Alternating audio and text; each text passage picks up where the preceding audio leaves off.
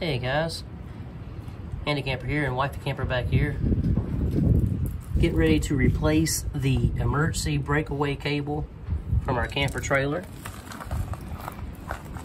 There's the camper, the tongue here. And this is the emergency breakaway that if the trailer comes detached from your vehicle, it pulls the pin right there and uh, applies the brakes on the trailer. Anybody that has a trailer knows these really, really long breakaway cables where you have to wrap them around the chain a few times and, and after a while they can get just like this right here. You guys can see there the wire is already broke. It's just hanging on by the plastic sheathing that's around the uh, cable itself. There's a couple places. There's one right there that's wore out. There's a place right here. This one's almost as bad. and the cable is completely broken. It's just hanging on by the plastic piece. So if that was to break away from the trailer, not going to help at all. what we're going to do to remedy this problem right here, guys, is we're going to cut this cable off right here. We're not going to replace it with another straight cable like this. We actually purchased one of these right here. We purchased one of these off of uh, Amazon. It's made for trailer breakaway systems and stuff like that. It's a zip breakaway cable. It's a six foot cable. And what it does is we're going to cut this off right here and attach it to the pin itself, a little hole in the pin. And instead of wrapping around the chain a few times like we normally do, it'll go directly to the attachment on the back of the truck. So we're going to replace this real fast. Wifey Camper's going to cut it. See if she can cut it there. Oh yeah, because I've got to be careful. I don't want to pull it out, do I? Mm -mm. Mm. Right there.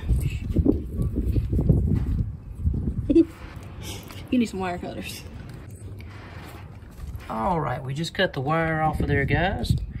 And we're gonna attach the little keyring thing, the keyring end of this.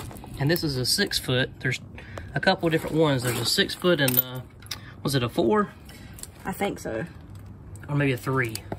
Um, I think it was four. I'll leave the link down below in the uh, description so you can see which one we ordered here so you can read into it a little bit more if you need to. There's the, uh, the pin, that little tip right there. I'm going to attach that to it. And then this end will hook to the back of the truck. Be right back. Let's get this little keychain looking thing on there. Got it all attached right there, guys. And you can see it'll just curl right back up. And once you hook your trailer up, hook your chains up to the back of your truck, you'll hook this to the same spot where the chains go. You don't want to hook it on the chain itself. You want to hook it on the spot where the chains go. And I'll show you that real fast. All right, here's the hitch. That's where the trailer will be attached. And right here on both sides of the hitch, we have little spots where the chains go. And now you don't have to wrap around your uh, emergency breakaway cable. It'll just attach right here to where your chain goes. And that way, if your chains come undone or your trailer comes undone from your truck, that'll pull that pin out and apply brakes to your trailer. Well, there you go, guys. It's There it is attached. Great option instead of those those ones that come with it or replace it with the same thing. Just put one of these on there and you don't have to wrap it around. Like I said, I'll put the link in the description below so you can check these out too in case you want to change yours out to something a little bit more convenient that won't rub on the road and get wrapped up in your chains and get all jacked up.